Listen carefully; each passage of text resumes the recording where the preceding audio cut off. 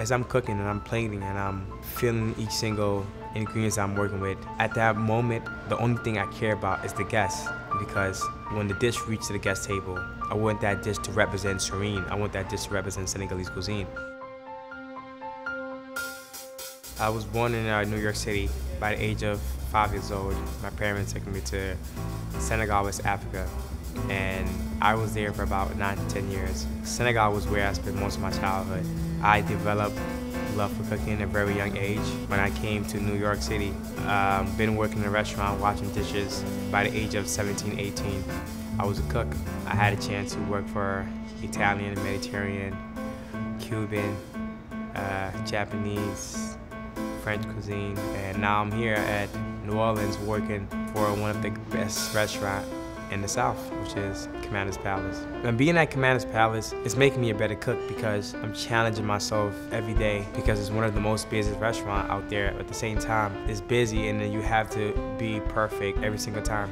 New Orleans and Senegal have very similar roots.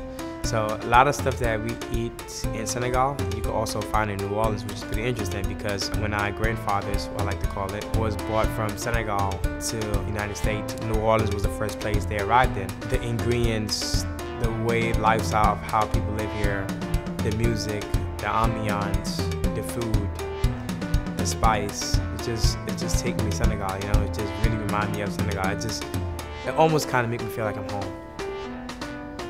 Currently, what I like to do right now is on my days off, I do pop-up dinner as much as I can. So basically, cook Senegalese cuisine influenced by Creole.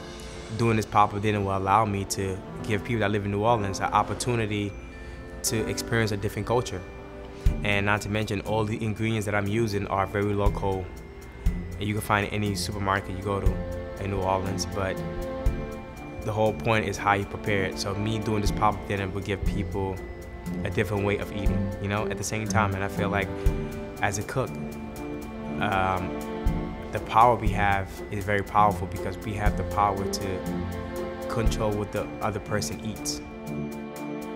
Now, as you work in a restaurant, you don't have much saying of changing anything on the menu, but when I do pop-up dinners, I'm free. Everything I learned from the past, I gather Creole, Italian, and uh, French cuisine, all the cuisine I learned from the past, and combine them and still make it Senegalese cuisine, but influenced by the different cuisine that I learned over the years. We really appreciate you all coming out and supporting this event where we're showcasing this chef in the back named Serigne.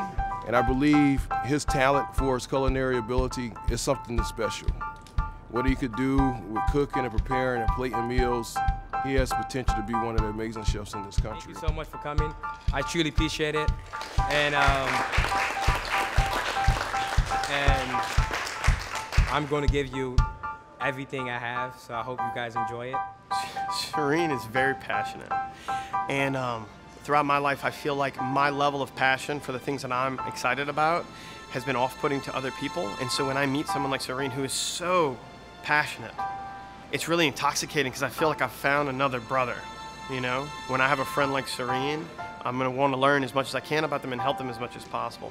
This food that he's making is, is very healthy. It won't weigh it down, and I think it's it's they're gonna be uh, really excited about it, and they're kind of kind of see a future in it. From a Senegalese perspective, the food will be different. Also, from a New Orleans perspective, the, the food will also be different. Uh, every time I cook, every time I play, I always try to send out that message, and I always trying to make people have a better day. Because as you cooking, you have the power to change people's day from good to bad, from bad to great, and that's that, that's that's very powerful. It's not possible without a strong team. So I really want to thank these guys so much because as much as fast as, no matter how fast I was moving, if I didn't have their help, I would not be. I, you guys would not got the food as fast as I wanted to.